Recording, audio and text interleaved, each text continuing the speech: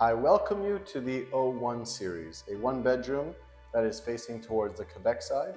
Uh, so on the entrance, we will have the double closet, which is pretty spacious here. You can see uh, goes pretty deep, okay? Then as we make our way, it doesn't waste any space. We walk right into this standard kitchen. Today we're on an even floor, so you're gonna see that dark finish. If you'd like to see the light finish, please refer to some of the previous videos. We've kind of mixed it up between the floors so you can kind of get that visual. Uh, but yeah, lots of storage space. We have up above and, you know, just to give you an idea of how much you actually get.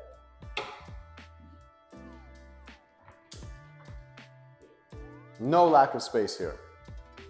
So the layout is pretty open concept, which makes it easy to work with. We can kind of tailor the suite based off your goals. Personally, I would make a made to measure or just, you know, be careful to find a good sized couch that can go here and the TV can go right there. We have the outlet ready for you. The team will help with installing that too, so not to worry, you're not gonna put a hole in the wall. So TV here, couch here.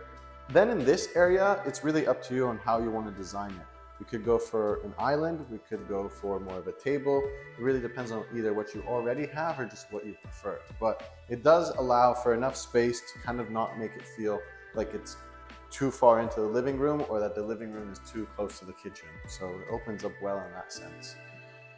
Before we go outside, I'll point out that behind us here is the full-size in-suite laundry. Every single suite comes with in-suite laundry, which is a really great plus.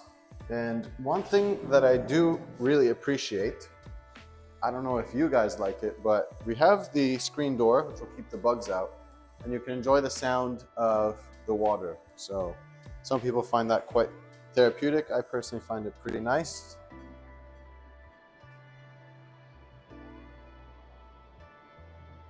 Great view over there towards the rest of the river and Remic Rapids.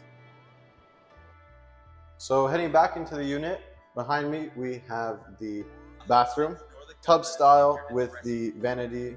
And then this bedroom in particular is actually a little bit wider than some of the other ones. This feels more rectangular. Sometimes that felt a little bit more square. Uh, both are really good, but as you can see, plenty of space. You can comfortably fit a double or a queen here. Just make sure that the frame isn't too big. That's always the key for these units is uh, to make the appearance of a bigger space. You wanna make sure that the frame isn't too large. And then nice closet space with the ability to hang. So